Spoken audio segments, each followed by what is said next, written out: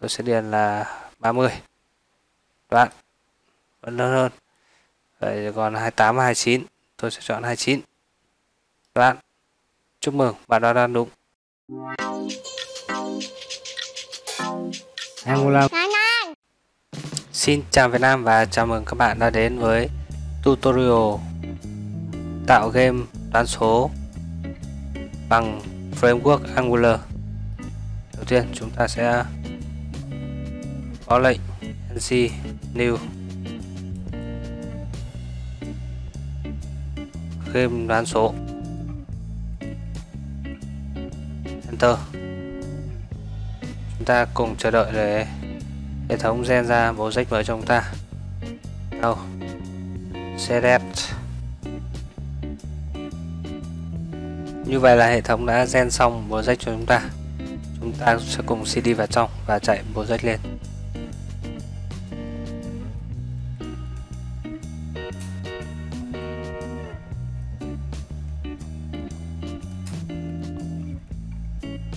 Ờ, sơ trừ trừ open.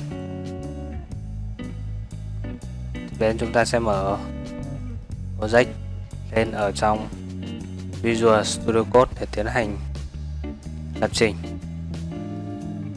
Đầu tiên thì chúng ta sẽ cùng truy cập đến file HTML chúng ta sẽ xóa bỏ code cũ đi. Như vậy là project của chúng ta đã build xong và hiện lên ta sẽ cùng tiếp tục code ở đây. Ta sẽ đặt tiêu đề. Và đề H1 là game bán số. Tiếp đến, một dòng thông báo. Hãy nhập một số từ 1 đến 100 sau đấy là một input để người dùng nhập, kiểu là number.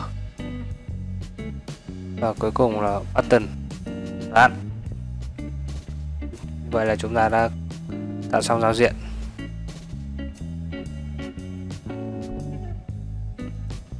Chúng ta cùng truy cập vào file app.component.ts để code.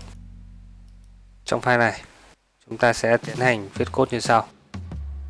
Đầu tiên, chúng ta sẽ tạo ra một biến random number, có kiểu là kiểu number, và chúng ta sẽ gọi đến hàm random.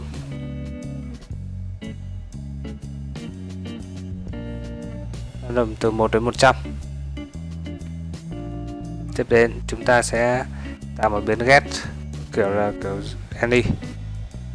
Message cũng kiểu dữ liệu any.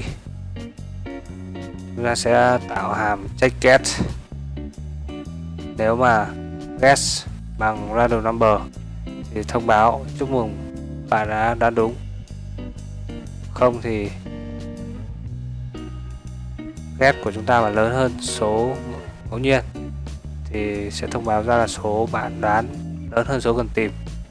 Ngược lại thì sẽ thông báo là nhỏ hơn số cần tìm. Ok, đóng hàm. Tiếp đến, ở file html chúng ta sẽ cùng chỉnh sửa. Chúng ta sẽ cho input của chúng ta. Ba đinh dữ liệu hai chiều xuống. Tham số.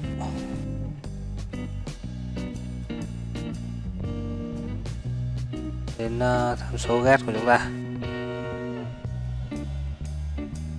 Ok đây đang bị lỗi. Do chúng ta chưa import thư viện. Form module chúng ta cùng truy cập vào app.module.ts chúng ta sẽ thêm uh, form module ở đây. Ok như vậy import xong là hệ thống sẽ hết lỗi ngay.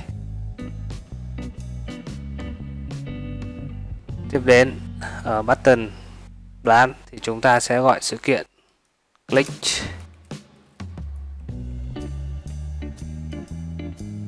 Ta sẽ gọi đến sự kiện check get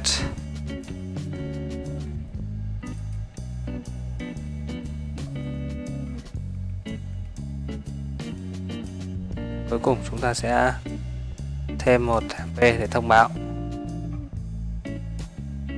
Đây chuyển là message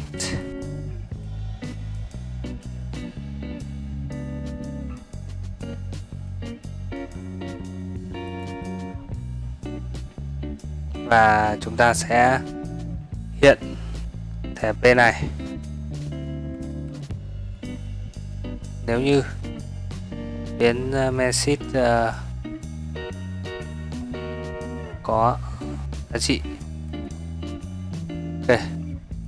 Vậy là chúng ta đã code xong. Bây giờ chúng ta sẽ tiến hành test game của chúng ta.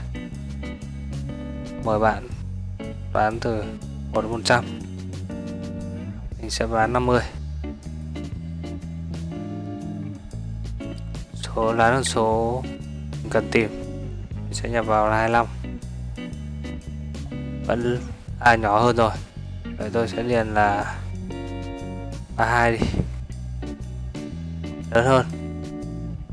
Tôi sẽ điền là 27 nhỏ hơn. Tôi sẽ điền là 2 lớn hơn. Tôi sẽ điền là 30 bạn? Vẫn lớn hơn. Vậy còn 28 29 tôi sẽ chọn 29 bạn? Chúc mừng bạn đã đoán đúng. Như vậy là game của chúng ta đã hoạt động thành công. Và nhân tiện thì à, tôi xin chia sẻ là cái số lần mà tôi nhập vào đây ấy, để đoán đúng số ấy, nó sẽ tối đa sẽ là 7 thôi bạn nào mà biết lý do tại sao ấy thì hãy để lại bình luận trong phần comment nhé. Xin chào và hẹn gặp lại các bạn ở những bài học khoa học tiếp theo.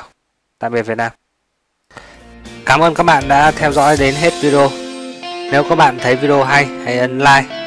Nếu ấy hữu ích, hãy chia sẻ với bạn bè. Và nhớ subscribe để à, theo dõi và ủng hộ kênh của mình nhé. Xin chào và hẹn gặp lại các bạn ở những video bài học tiếp theo.